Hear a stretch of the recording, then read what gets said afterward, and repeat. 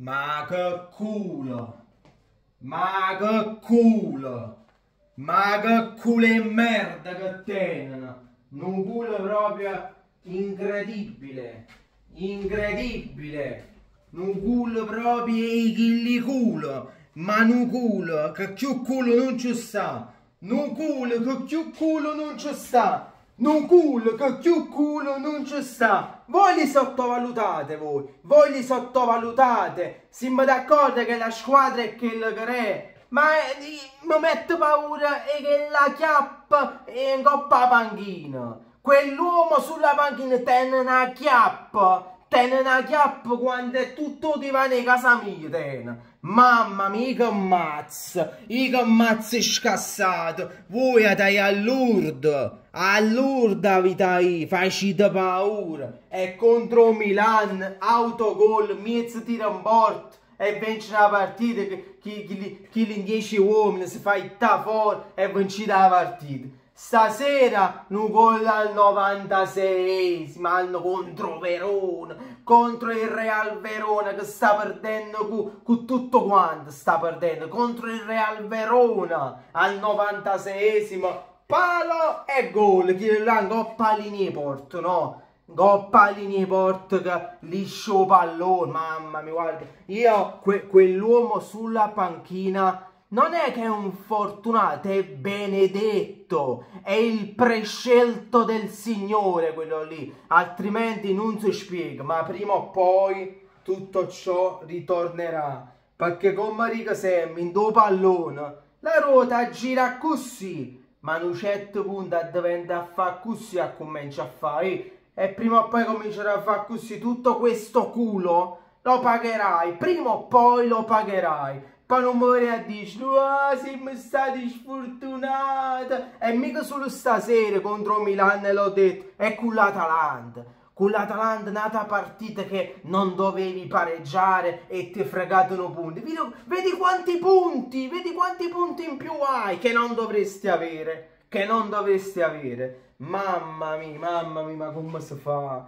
Come si fa a vincere una partita così? Cioè, eh, l'Inter una partita del genere non avesse mai vincuto. L'Inter una partita che se si giocava fino a martedì non la vinceva. Perché noi per vincere una partita dobbiamo creare 40 palle gol per vedere se facciamo uno.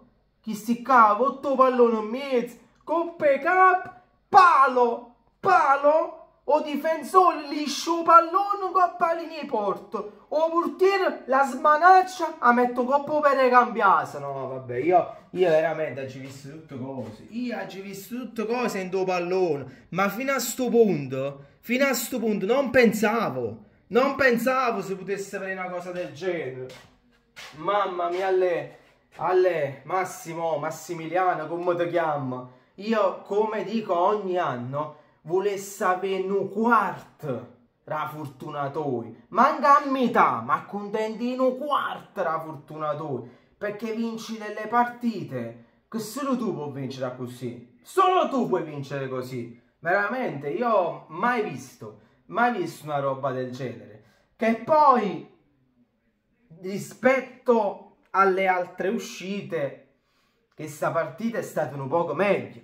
Perché ci sono stati due gol di Ken giustamente annullati, uno per mezzo tacco, un millimetro, a regola che dice, un millimetro è fuori gioco, quindi silenzio, la regola è regola, non si discute, un metro, un centimetro, un millimetro è sempre fuori gioco, è la regola, spiace. Poi, o, secondo quello annullato c'era una manata mock, eh, quello è fallo manata mock è fallo, cioè eh, di cosa vogliamo discutere? Anzi, complimenti all'arbitro. Arbitro migliore in campo. Finalmente ancora c'è qualche arbitro che non si lascia intimorire dall'ambiente e arbitra come Cristo comanda. Quindi complimenti al direttore di gara Feliciani, classe 91, quindi è una nuova leva, non l'ho mai vista in Serie A. Sicuramente avrà fatto qualche altra partita, però insomma è la prima volta secondo me che arbitra la Juventus e l'ho apprezzato, l'ho apprezzato, ha arbitrato molto bene, però dicevo, è una Juve che ha creato più del solito, perché anche quando è entrato Chiesa uh, ha dato una sterzata al match, uh, ha creato qualcosa, insomma ci sono state le occasioni per andare in vantaggio rispetto al solito, perché poi io mi ricordo Juve Lecce, mezzo tiro in porta e vince la partita. Atalanta Juventus, zero tiri in porta. Milan Juventus, mezzo tiro in porta. Quindi è chiaro che se facciamo un paragone rispetto alle altre partite, diciamo, questa è stata una Juve più accettabile, più accettabile nel senso che ha giocato, ha tentato di vincere la partita e alla fine con il classico colpo di chiappa sull'ultima azione la vince. Però mi chiedo quanto durerà, quanto durerà? Di una, di una cosa però ne devo dare atto che difensivamente sono solidi, difensivamente subiscono pochissimo. Chioverone stasera un'occasione ha avuto. A fine primo tempo con Bonazzoli che Scesni ha fatto una grande parata per il resto non pervenuto. Occasione da gol del Verona, zero, anzi, eh, lo dico uno, soltanto Bonazzoli. Mi ricordo Juve Lecce, o Lecce non si avvicina ai Manghin dall'area rigore. Milan Juventus, in Milan in 10 uomini ci sono le attenuanti, una palla gol, quella di Giroud. Atalanta Juve, l'Atalanta meritava la vittoria, ebbe delle occasioni più che altro nel finale di partita, però anche lì riuscì a non prendere gol. Quindi il campionato italiano cosa ci insegna? Che alla lunga su 38 partite solitamente vince la miglior difesa e chi ha più chiappa. Siccome in questo momento la Juventus ha entrambe le componenti, in più non ha le coppe, ecco perché dico che questi qua, zitti zitti, zitti zitti, fanno il loro cammino e sorrido, sorrido quando il loro mister dice ma noi dobbiamo rientrare nelle prime quattro. Ale, tu forse ne hai capito che senza coppe rientrare nelle prime quattro cioè è la normalità, cioè deve essere proprio una cosa scontata rientrare nelle prime quattro, perché senza coppe se non rientrassi nemmeno nelle prime quattro, tu a, a cagniamo stir, a vista a fa un fravacatore, l'idraulico, anche l'avvocato, te scioveca, giacca e cravatta, si bellil, ma non potesse fare più l'allenatore di pallone. Quindi tra le prime quattro è una cosa ovvia, è una cosa evidente perché poi tutte le altre, comprese Lazio, Roma, Atalanta, eccetera, eccetera, si vanno a spaccare le gambe in settimana. Quindi fai meno l'ipocrita, dici noi giochiamo per lo scudetto e stasera, almeno per una sera, almeno per una notte, si spera, ti sei preso il primato a botta di chiappa, a botta di solidità difensiva è una Juventus che si prende il primato. E concludo, concludo dicendo che questa è una squadra sotto il, il profilo del gioco criticata da tutti.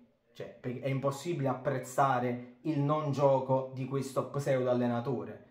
Però, se questa squadra attualmente è prima in classifica, è vero, ha una partita in più, ma se non è prima è seconda, se non è seconda, magari è terza, ma sta a mano punto di punto, comunque sia, se è lì sopra con questo gioco, significa che il campionato italiano va avanti sempre verso quella direzione. Se non giochi, non subisci gol, sei difensivo e parti in contropiede. È un calcio che paga. Evidentemente lo pseudo allenatore questo l'ha capito anni fa e, sta portando avanti la propria teo- teo- teo- teoria. Ma sono altresì convinto che questa stessa squadra, con un impegno infrasettimanale, non avrebbe tutti questi punti. Perché comunque sia, il fatto di giocare in settimana, che sia martedì, mercoledì o giovedì, ti porta via del, uh, delle energie fisiche e mentali. Con questo passo e chiudo, lasciate un like, iscrizione al canale, già so i commenti che arriveranno. Rosica, Rosica, Rosica. Eh, ma sono contento che hai vinto al 96. Sono contento solo per la bolletta, che hai girato la bolletta con questo gol al 96esimo ho preso la bolletta, di quello sono contento, sono contento, però è normale che rosico, eh, che la fa, so, devo esultare insieme a voi che ha segnato al 96esimo, non esulti insieme a voi, quindi appuntamento a domani in partenza per Milano, perché domani si va a San Siro a vedere Inter-Roma per accogliere